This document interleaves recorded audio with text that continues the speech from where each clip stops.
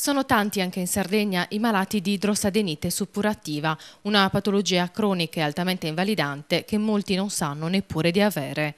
Scambiata per folicolite o peli incarniti per la sua particolare localizzazione nelle pieghe pilifere del corpo come le ascelle e l'inguine, la malattia raramente viene individuata e diagnosticata subito. L'associazione Inversa Onlus venerdì e sabato scorsi ha promosso a Cagliari, presso Palazzo Reggio, il primo congresso che ha chiamato a raccolta medici di base, pediatri e dermatologi, proprio per dare supporto informativo ai pazienti che attendono aiuto da decenni.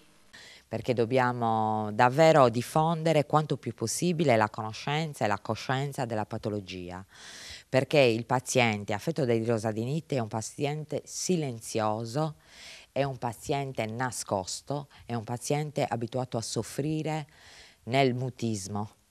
Colpisce molto le zone intime, quindi la patologia, quindi c'è una vergogna anche a parlarne in casa. Molti hanno ancora tantissimi tabù. Andremo avanti proprio oh, diffondendo il più possibile la conoscenza della malattia, come si sviluppa, come si manifesta, in modo che chi ce l'ha si possa riconoscere e possa ottenere supporto, cure, tutto quello di cui ha bisogno.